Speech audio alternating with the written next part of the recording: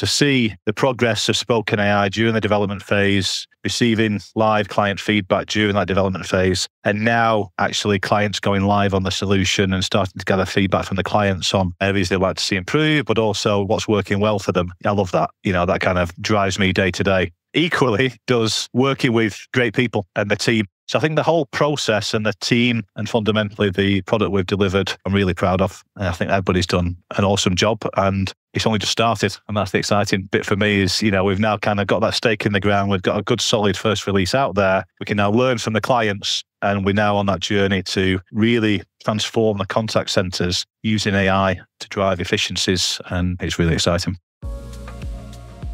Welcome to Talk Time with MaxContact, your go to podcast for everything contact center related. Join us as we dive into the incredible world of contact centers and explore the latest trends, innovative strategies, and cutting edge technologies that are reshaping customer interactions. In each episode, we're joined by industry experts to share their practical insights and advice to elevate your contact center performance. Whether you're looking to enhance operational efficiency, improve team management, or understand the impact of AI in contact centers, you're in the right place. Welcome back to Talk Time with MaxContact. I'm your host, Sean McIver. Today's episode is a masterclass in innovation. We're discussing Spokn AI, our exciting new speech analytics product. But more importantly, we're here to share the entire journey. This is not a sales pitch from spark of idea to successful launch. In just 12 short months, Spokn AI went from concept to reality, with its first client going live in just the space of two weeks. That's some serious innovation speed. Joining me today to unpack that journey is Ben Booth, CEO of MaxContact, and Matthew Yates, VP of Engineering. Ben, as you know, I don't like to do big introductions for people when they're sat on the call with me. I'm going to go to you first. Do you want to introduce yourself?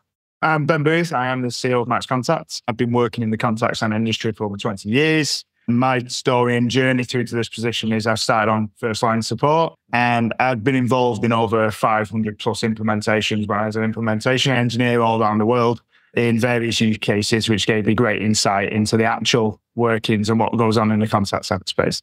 Thank you. And yourself, Matt? Hi, Sean. So I've worked in technical companies for over 20 years now. Had the pleasure of working with some great teams over the last 20 plus years. Found myself at MaxContact, working with another great team. And I'm really passionate about working with technology to solve real problems and ultimately help customers improve their day to day lives through whatever that may be in terms of the problems that we solve. And obviously, in the contact center, uh, there's many opportunities to help improve the lives of those that use our platforms and solutions within the contact center. For those who don't know, the people on this call are the bosses of the company I work for. So I'll try not to mess this one up. So let's get stuck in. Talk to us about Spokn AI as a concept. How did you come up with the concept? What was the gap in the market that you saw and, and decided there's an opportunity there? Do you want to kick it off, Ben, and I'll pick it up? We came from a reseller background, and one of the reasons we decided to build our own software was actually to create exciting, innovative, but technology that actually delivers value. So does not just marketing actually truly delivers value and not work as expected is what I used to say. To work as expected, it's not as marketed. So we had a plan always as a vision to move into AI even years ago, and but became this inception point of one, a new wave of technology, which everyone's aware of, but the technology's already always been there. The cost came down for the implementation of like ASR, so speech to text, and then the increasing demand with the global market economy and macro events that we're going through. So XA speech analytics isn't new and AI isn't new in the sector, but there's been a drive to improve for efficiencies increase productivity, but I would actually say even more so unlocking the value of data. And historically, analytics products are quite cost prohibitive, especially upfront costs and total cost of ownership, which we'll get onto today. But all these three things, maybe even four or five things, came together at the same time that said, right, this is the perfect opportunity to accelerate this now and actually produce something that could build a real value. From your point of view, Matt, what would you add to that?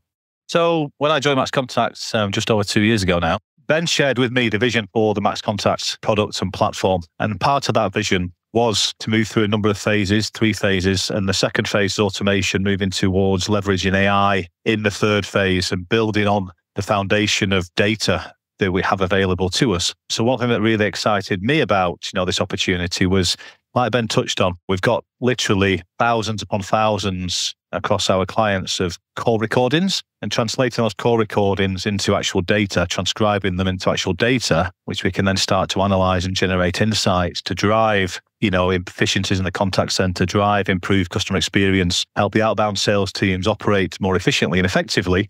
That was really exciting. And so, you know, I do remember, you know, when I sat in the office with Ben, it's over two years ago now, John, about Christmas 2022. And yeah, we were kind of sat in the office and he was taking me through this. And, and that's really what caught my attention because I love data. I love analytics. I love finding insights within data to drive improvements. And so, really, you know, like Ben touched on, we've got this huge amount of data that was untapped. Was kind of effectively a data goldmine, if you will, that we weren't really doing very much with beyond offering up to clients to listen back to the call recordings via the audio call recordings. And so, yeah, I think the the culmination of the technologies to support Spokn AI, as it's now referred to in the product, the automatic speech recognition technologies, the advancements made, particularly around the open source AI models, both large language models to non LLMs, and compute associated with those as well. The efficiencies around, you know, the ability for us to actually execute these models and transcribe effectively at a cost efficient rate really kind of culminated in this opportunity for us to, to get started. So the vision was there, and then the technology matured to the point where it made it possible to enter the market. And, you know, very important for us and our clients is to ensure that we offer value for money. And so that's why throughout this whole project, cost has been a key consideration, as has obviously quality and performance and everything else. But, you know, cost was a key consideration for us to make sure that we can offer these solutions to our clients at you know an attractive price point that delivers real value to them. And I think that's something that, from my point of view, one of the things I'm proud of is exactly that. It's the fact the result that we've got is something that is feature rich at a reasonable price point. So moving on from that, then, Matt, I'm going to switch a bit more focus to you for a bit here.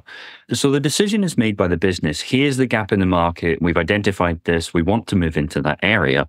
How do you begin even going about the development process? And where I'm coming from with this, and I'll, I'll kind of put an anchor on this a little bit, is Ben's experience, 20 plus years in the industry, my experience, the industry, the knowledge that we have, our domain knowledge is very much within contact centers. And AI as an entity is maybe not necessarily our home base, if you like. We have an awareness of it, but it's not necessarily our home base. So, how did we begin that journey? So, one thing we didn't do and we never do is we never jump straight into coding up the solutions that we think are the best fit for the, the problem. The first thing that we do is we start what we call a discovery phase. And during that discovery phase, we explore the feasibility of is it something we can build? Is it something actually we should partner with a third party provider with us to help us provide those services that we need to offer up as solutions to our clients?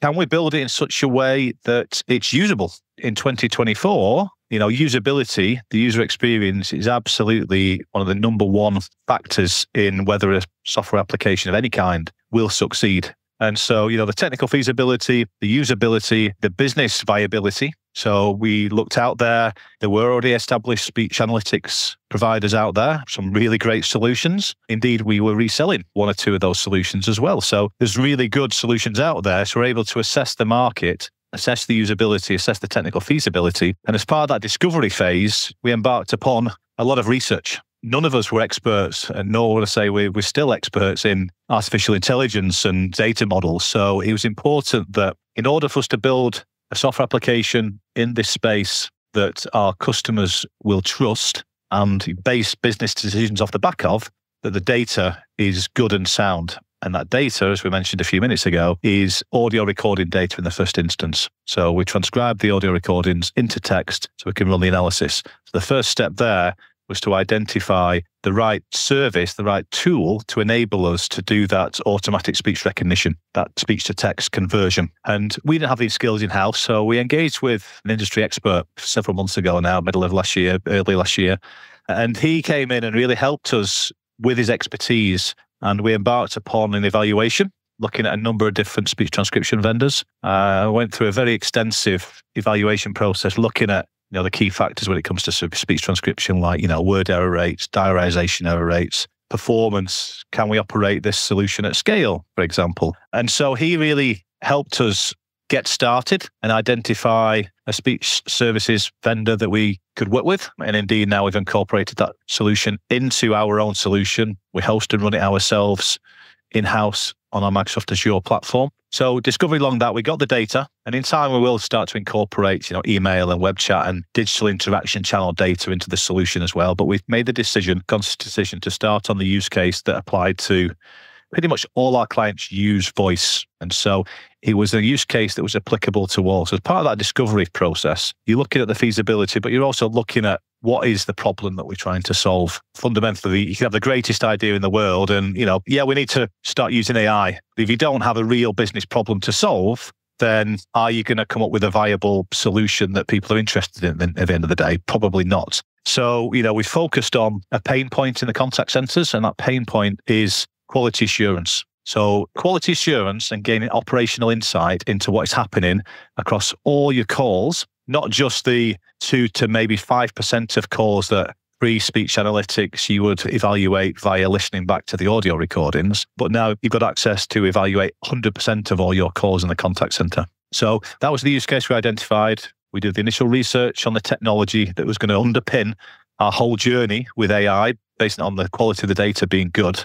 And yeah, we kind of took it from there worked iteratively as we always do. We work in short sprints. You know, we, we aim to fail fast and learn. So, like I said, none of us were by any stretch experts within this space. We're all learning every day. So we got the industry expert in to come and help us on the automatic speech recognition aspect and really kind of got to the point where we engaged with UX, we had UX skills on the project, started to create some mock-ups of what this new solution might look like, started to get that in front of clients. So we run what we call a design partner program. And that basically means that we engage with a number of our clients from our existing customer base and get their feedback again, to make sure that all the solutions we build solve real world customer problems and they're going to be usable by our clients. And so, yeah, a little bit long winded. So, apologies for the lengthy answer. And I could carry on talking on this topic, but that voyage of discovery started and got us to the point where we had enough confidence in the problem our ability to solve it, our ability to, provide a great user experience,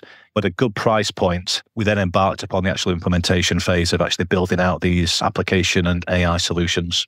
Ben, coming back to you for a moment, just off the back of what Matt's just outlined, obviously this is an enormous undertaking. As a CEO of a business, obviously it's exciting and looking forward is always an exciting prospect. Was it daunting undertaking this journey? You know, new product, new domain space, new technology, new everything. What was the mental gymnastics around the risk assessment of that like for you? Are we talking like sleepless nights or was it actually, no, I understand this, let's go? I'm a firm believer in we're going through a weird transition. And all businesses going through a transitional period at the moment. We've had three years of curveballs thrown at us left, right, and centre. And I probably view risk more now than any point in my career when we're making these type of decisions because it's fine saying we don't fail, we learn, but when there's a big budget behind it, you can't keep learning those lessons. So to touch on Matt's points, to summarize, I mean, we talk about this a lot and I almost got it in my head where we, you know, there was a lot of validation that went through that. You heard him talking about reviewing the market, clients. And when I think about these big things that we take on board, I almost have a Venn diagram in my head. And it's one capability. Do we have the capability to build it? And we look at the people, the skills, and we brought some extra skills in to help with that problem. We now have the capability to execute. Do the clients want it? Are we solving a problem? Is it something they can pay for? Is it delivering value? What's the roadmap going forward with it? Is it a one off? So we look at our capability, what the clients want. And then one of the third ones a bit is actually passion have we got a bit of a passion for it? And when those three things tend to come together in all the things we've ever built as MaxContact, I think the risk is reduced. Don't get me wrong, there is risk. And we spent a lot of time. We mentioned 12 months. There was about three and a half months before we wrote a line of code of investigation, research, prototyping. That mentioned getting prototypes as early as possible in front of clients for validation, so there's a lot that goes on when you're doing these projects, especially ones that you are a bit passionate about, because it can blur your vision on reality. Right, Matt? There's plenty of good products and better companies out there that fail. So you do need to make sure, because we have that duty of care to everyone in the business, that we make sure we pick the right one. So yeah, we spent a lot of time on it, but that time actually, as you go through the process, if it is the right decision, should build your confidence as you're getting towards the end of it. And that's where we got to. So we got to that point. I have that rule. People hear me talk about it in other podcasts or whatever.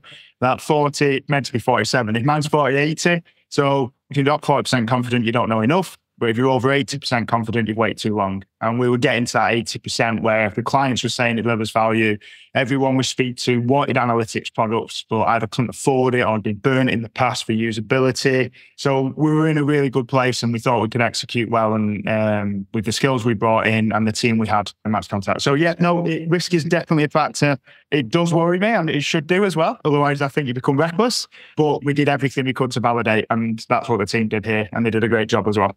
Speaking of the actual design journey itself now, as we embarked on that validation process, I want to take a moment just to touch on the UI, the UX element of it, the user interface. I have insider knowledge because I know you were both involved in those conversations as they were ongoing. In terms of that user interface that we came up with for Spokn AI, what were the most important elements from your point of view?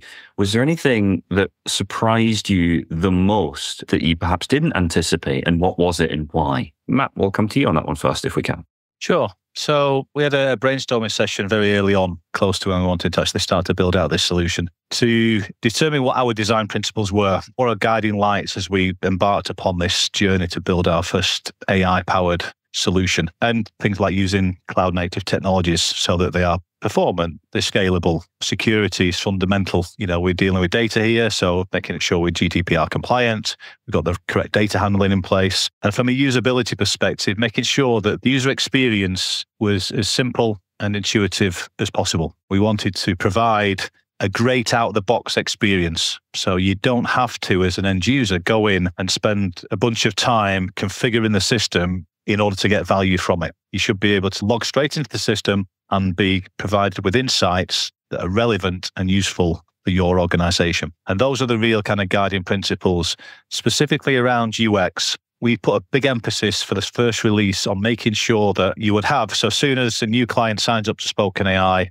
and they've got access, they can log into the portal for the first time, that they are presented with insights that they can very quickly understand and very quickly, this is one of the other guiding principles, literally within three clicks and in about 10 seconds, go from thousands and thousands of calls worth of data and drill right down into either an individual, a team, a particular topic, a particular call duration, you name the filter you want to apply, drill down right into a focus area within that large data set that you can then understand the behaviors within those conversations taking place in that smaller data set. And you can get actionable insights to help drive, you know, coaching within your contact center to help understand from an operational perspective what's happening across my calls in the contact center, what's happening in this particular team over here. Lots and lots of insights, but you can do so literally within three clicks and under 10 seconds. And that was one of the fundamental aspects for me. Ben, your thoughts? We've all used products we don't like using that do a job. I think there's plenty of software out there when SaaS became big. The UX was a second consideration. As long as it works and you can make it do it, then that's a, a tick in the box. But I go back to a lot of studies where I think we're in this period now. I think there's a stat where it's 75 plus percent of buyers have buyer's remorse when they bought software. And typically it's not because the software can't do what they want it to do is because they can't make it do it because it's complicated, it's hard to use. Or then it's professionals. You have to get paid for someone to do it because you have to be an expert and done 10 years of experience. It's fundamentally wrong. And especially with the technology that's coming today, with Gen AI is a good example.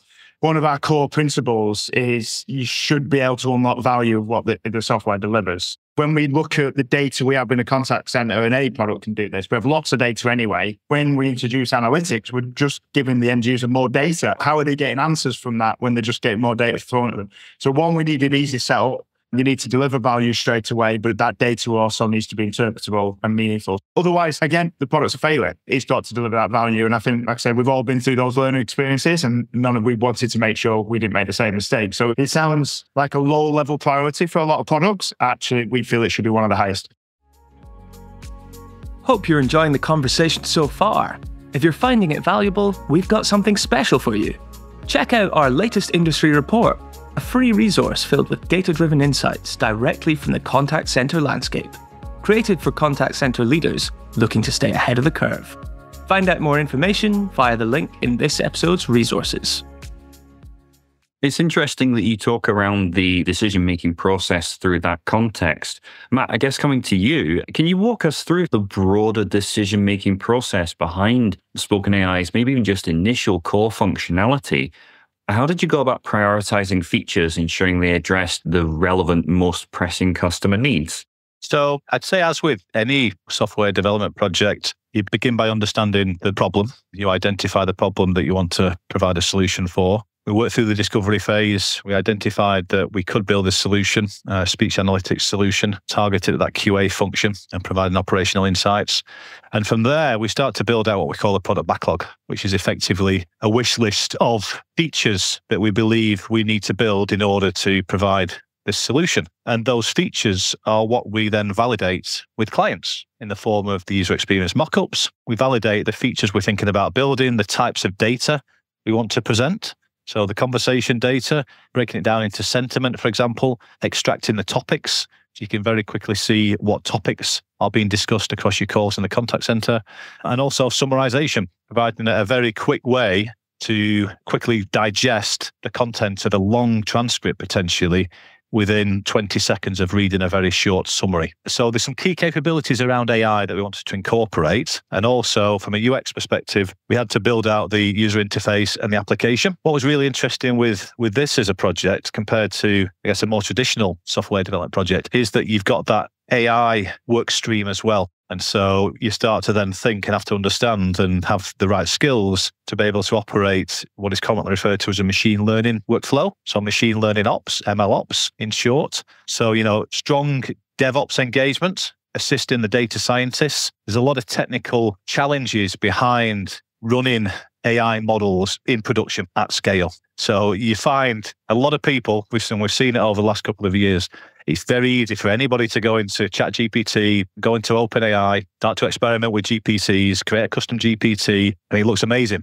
You try and take that concept that you've been running on your local machine into a production environment. It's a very different kettle of fish. And you need the knowledge and understanding from an infrastructure perspective that needs to join up with the data science skills to ensure that we can architect a solution where we can run at scale. We can, you know, onboard new clients and scale up. We've got some really high forecast volumes we want to attain over the next 12 to 24 months. And so the initial architecture has to take that into consideration.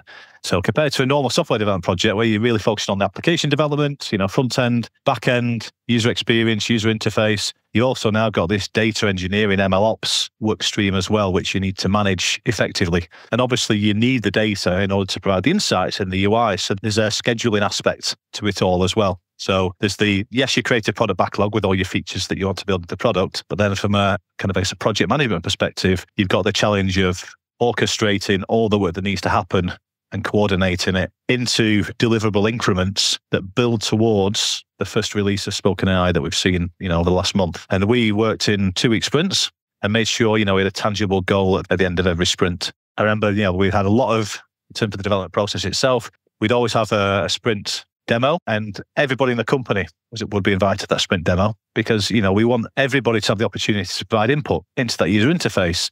I remember, obviously, Ben would often speak up and provide input into the user interface in the same way our colleagues in support would, or DevOps, or marketing would as well. So it was a real, I guess, team effort in terms of generating the input into the feedback that we need to build the product, as well as engaging with real world clients to get that feedback as well.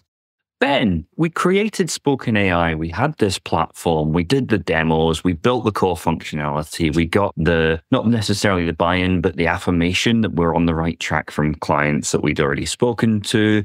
How do you go about bringing that to a, an already busy and getting busier market? Was the positioning of it a challenge? How do you approach that from a bringing a new product to market? That side in the research phase because we had to do a market review and see is, is there a gap? We're entering a market where partners entering a market is too overcrowded. And in the same way, when we built MaxContact, it, it actually we found out it's a still a similar problem with the way markets turned recently. It's, the problem's still there for a lot of vendors. In the our ICP is your sub 500 seat contact center. We have bigger, but it's a very underutilized, underserviced market. One for we mentioned technical skills and onboarding and that total PS cost continuation isn't actually feasible for a lot of sub 500 seat contact centers. So the ICP was there. It wasn't too dissimilar from our current ICP that we sell. That isn't to say it is slightly different because we, some of the investigation we found there's other opportunities. And this is the one thing with product development. We had a nice roadmap of how we think things was going to play out. We got to our release two and release three is already changed based on research and client feedback. And we'll, I'm sure we'll talk about that later. So what happens, and this is the importance of getting your MVP out first, is because you just start learning even more. And I think we positioned it well. You have to stand out from the crowd when we talk about marketing. How, how do we stand out? How are we different? What's our USP? Why we're buying your product, not someone else's? These are all the common questions I always get asked. And again, it comes back to our ideal client profile is the sub 500. It's still SME. It's that ease of implementation, all those guiding light principles that we settled on was from that. How do we stand out from the crowd and why we are different? And that's how we got to them. And we stood fast by them. So far, so good, I will say. But the other thing there is, is you have to be adaptable and agile. So we only knew what we knew then. As Matt said, we do two week sprints. So every single two weeks, we deliver value in the product. And every two weeks, we get feedback. And we continue to do that now in live production, even more so. Now it's in live production, we actually accelerate that feedback with our customers. And we're always learning, and that will dictate the direction of the product and, and create value because at the end of the day, it's the clients that use it and they're the ones we're targeting. So there's a lot that goes on around it. Again, the research starts on day one. And then it's just following it through and executing, to be honest. I'll actually say the same applies to our other big project. It applies to all software projects. This isn't specifically spoken, it is around it, but that I mentioned passion before. I think it's underutilized when you do a project. If that passion is there, you tend to find these type of problems and challenges. The energy is there to solve them, and uh, it really does help. So, one of the key challenges, Matt, I'm going to come back to you on this one. Innovation inherently is challenging. There's a reason why markets end up the, the way they are. There's a reason why you would tend to lean towards kind of consistency or homogeneity between products, certainly in terms of broad feature sets. What were some of the key hurdles faced during Spokn AI's development phase, and how did the team go about navigating them? So there were definitely a good few hurdles that we we had to overcome, and the way we did that was one of our core principles as a company, actually. So taking a step back, one of our, some of our house values are that, you know, we work effectively as a team, that we're open and transparent. And that bleeds right through the development process as well. So where we do hit blockers and challenges, they get surfaced up and then we swarm on them as a team to address them and find the best way forward. And we do exactly the same with, you know, this particular development project as we do for others as well. But in terms of specific examples, what I would say would be things like as we learnt about the different options for AI models to use for the different tasks. So there are really three tasks that we're looking at topic extraction, summarization, and sentiment analysis. We embarked on quite a lot of research to determine are we best using an LLM? Because, you know, surely LLMs can do everything, right? You know, so are we best using an LLM for sentiment analysis and for topic extraction? And what we discovered during our research was actually there's better ways of extracting topics and sentiment than using an LLM. And actually, those ways are not only more accurate, but they're more efficient from a you know a compute perspective as well. So using some of the skills that we have on board now, the data science skills, we're able to evaluate different options. Now, one challenge with that is what point do you stop evaluating the number of options? Because there are a lot of options out there and you can almost spend a bit like Ben mentioned 10, 15 minutes ago. You know, if you get to 80% confident, you probably spent too much time thinking about it before you made a decision. We were going down a path where evaluating four, five to six different models, all with varying pros and cons, performance improvements, quality outputs, cost factors associated to them. And we had to kind of draw the line and go, right, now by this date, we need to make a decision in order for us to move forward on this project.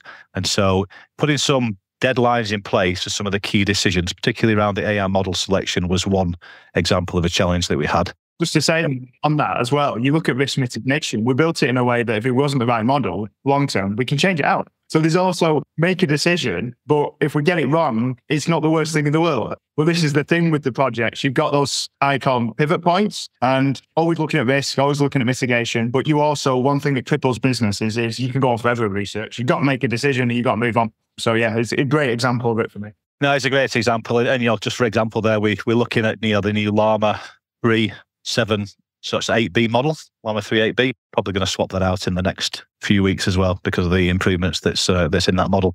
I think it's another example. So we do use generative AI output from a Llama model, and that is to do the call summarization. And so a challenge that we identified very early on, indeed a risk for the whole project, is the quality of the data and the quality of the AI outputs generated from the data. And what we saw during the early testing that we did with the summarization outputs is there was a tendency to hallucinate more frequently than we were comfortable with. And so we devised a test data set, which we then had to review by humans. You know, so I was involved in that task. I know you were, Sean.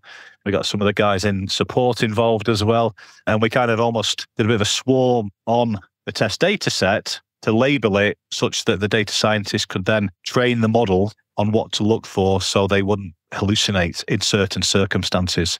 And we significantly improved that false positive rate through the activity. And we've had to do that two or three times. And it's definitely something we will, as we do more with Gen AI, we need to do more and more of. So I think identifying the risk of using some of these AI models, particularly the generative AI ones, and then having strategies in place where you can very quickly retrain the models was one of our key learnings as well. I think certainly from my point of view, that's probably going to live with me for the rest of my career was the hours spent doing the ground truth validation around that output. However, it was really important that we did that early on and that we ensured that we had that confidence level. In fact, one anecdote there, actually, Sean, you just reminded me.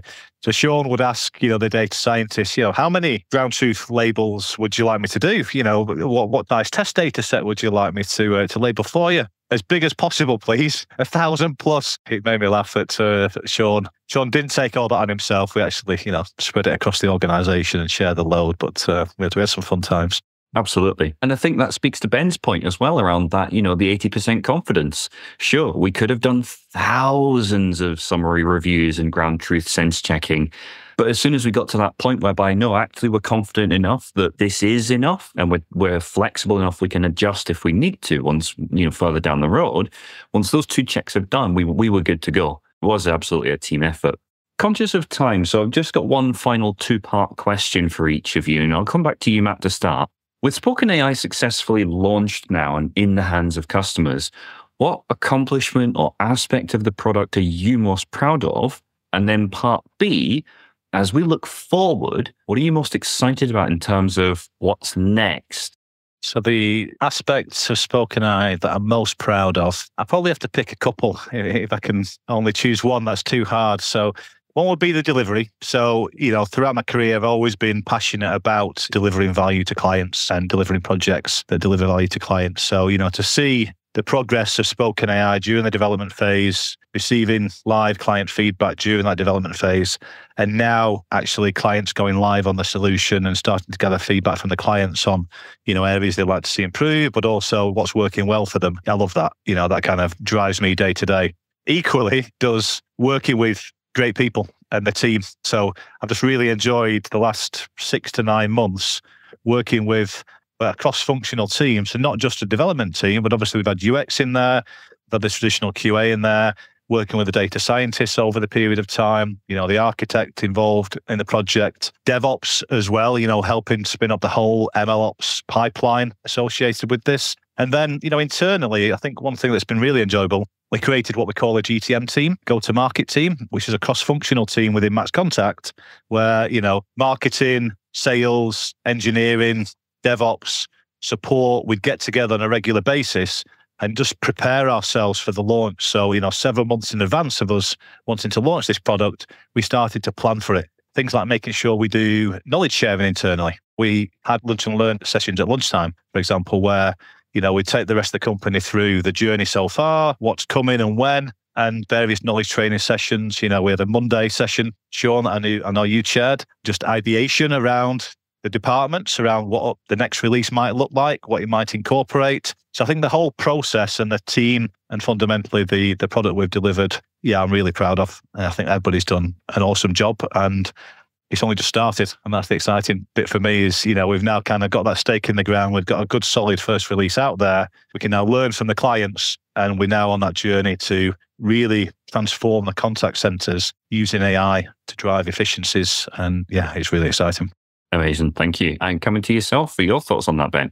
Everything Matt said, I mean, I was going to say very similar things, but for me, it's the people on the team. And one of the toughest things that I think a lot of CEOs or senior people have in a career is realizing or building, you want to build great teams and you, it's about the people and you want to do that. And watching them execute better than you could do actually gives you more pride than anything else you'll do in your career. So I talked before about the passion and it actually, that three event diagram was a very recent thing I was thinking about. I'm sad I do think about these things.